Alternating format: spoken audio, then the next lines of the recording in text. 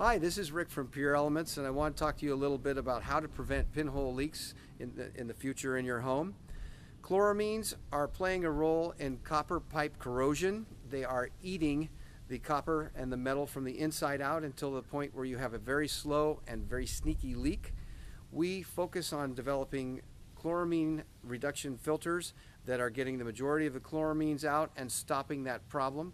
There are other issues also that can be affecting your pipes, but we have to stop the corrosion in your copper pipes as it sits today. So we would love to help you with that. We have a very strong track record with no further pinhole leaks over the last eight years after people have installed our systems.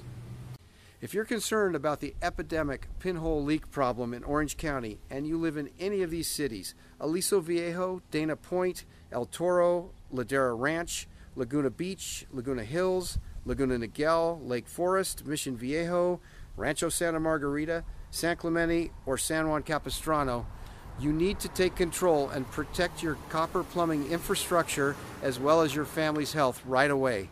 Give us a call at the number below and we'll be happy to help you out.